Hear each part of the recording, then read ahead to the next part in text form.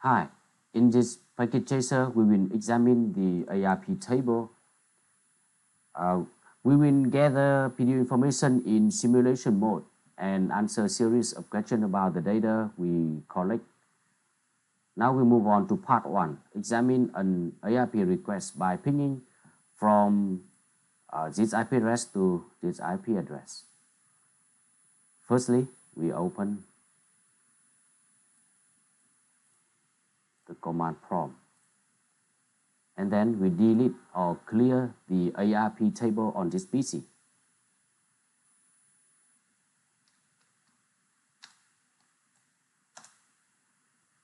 Now we switch to simulation mode.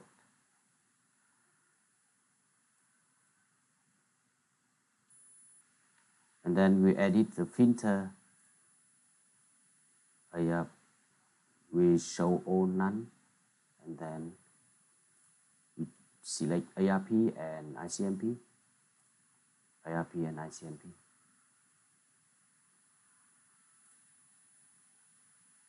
then we ping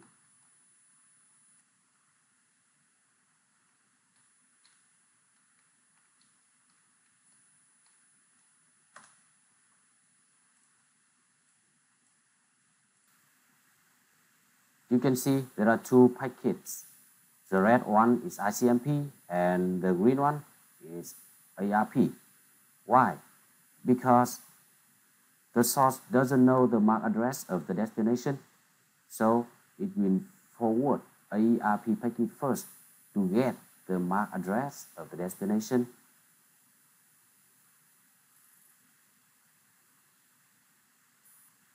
The ARP packet is sent in broadcast mode. So the switch will broadcast it to all other hosts on the network and only the destination answer because the IP address of it match with the IP address in the ARP packet. So when receiving the packet, we can examine the MAC address of the destination on the layer 2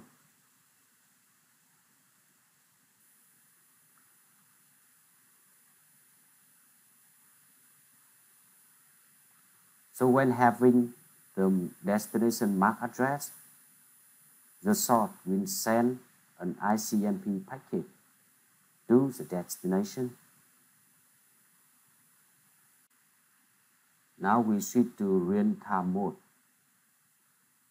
and check for the ARP table on the source.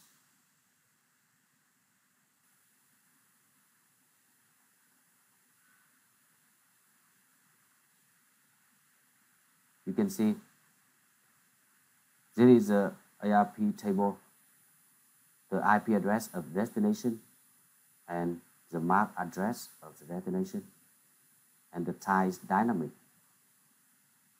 So when the source send any packet to the destination, the source will encapsulate this MAC address and send to the destination.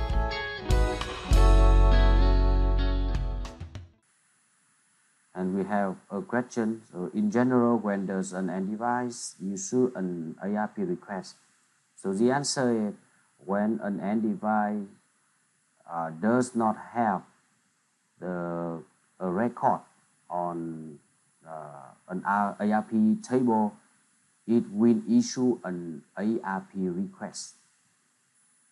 Okay, now we move on to part two, examine the switch MAC address table.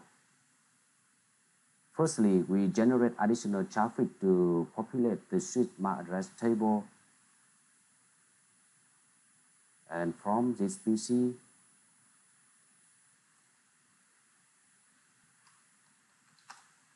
we print to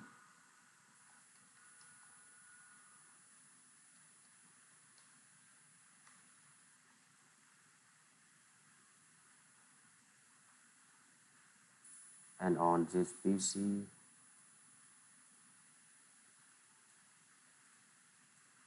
we also ping the 10 or 3 command.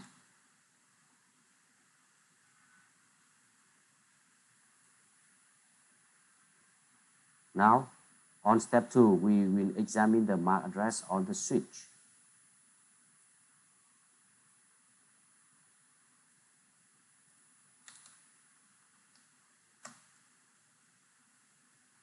Show MAC address table. So this is the MAC address table on uh, switch 1. So on this table, we have the MAC address column and the corresponding ports. And the type is dynamic because it's learned when the ARP protocol run. Now we examine the MAC address table on sheet 0.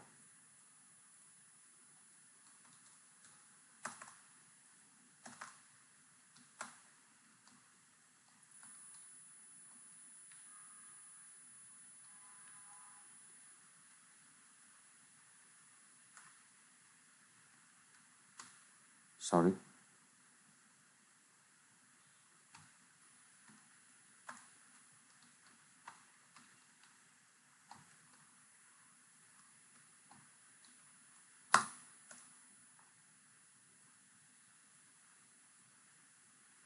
Is the MAC address table on switch 0.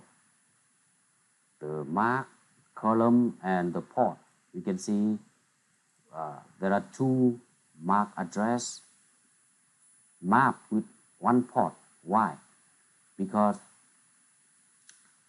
on this port, port FA0 slash 2 have the uh, contain or store the MAC address of two PC, this one and this one. So on the uh, this port, there are two MAC address.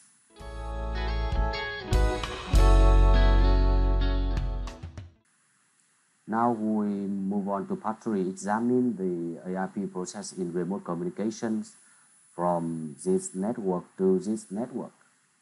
Firstly, we ping from this PC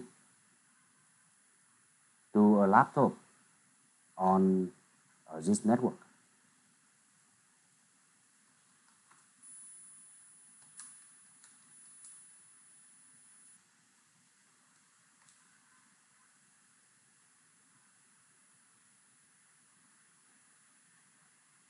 And then we check for the ARP table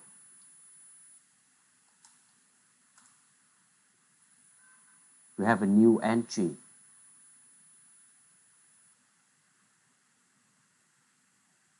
First one, the second one, the second one, the third, and uh, this the record of the PC of this PC and this record is of this PC and this IP address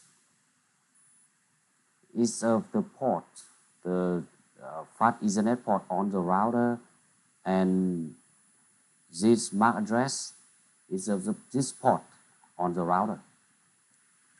Now I clear the ARP table, ARP, ARP. Uh, there are no ARP entries found. Now I switch to simulation mode and repeat ping to this IP address.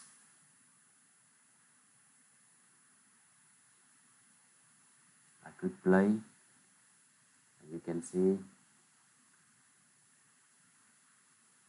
the switch broadcast to all uh, other hosts on the network and only the router accept it and send back a reply, ARP reply to the source with the MAC address of this port on the router. Uh, the source PC will send back the ICMP packet to the router and router 1 will forward that packet to router 0 and router 0 send back an ICMP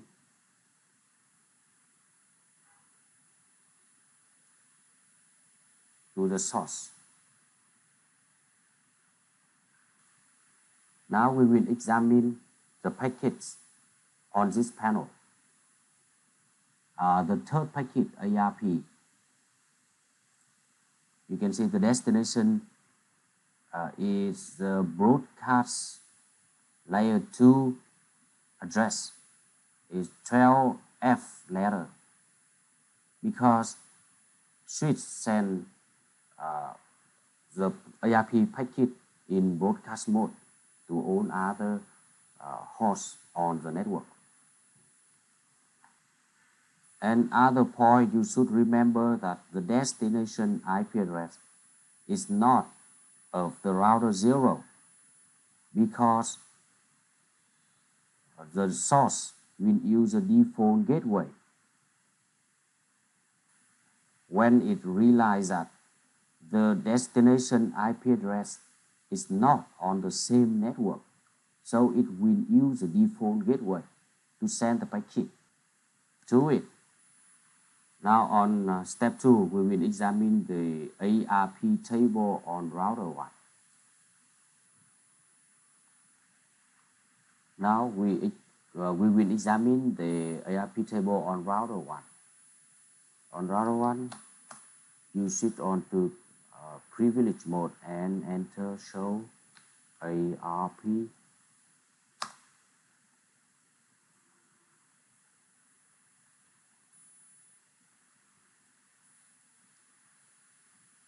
ARP, this is the ARP table on router 1. We have the address, IP address, and this is the uh, hardware address of this port of the gigabit Ethernet port. And this is the MAC address of the PC of this PC. That's all for this activity. Thanks for watching.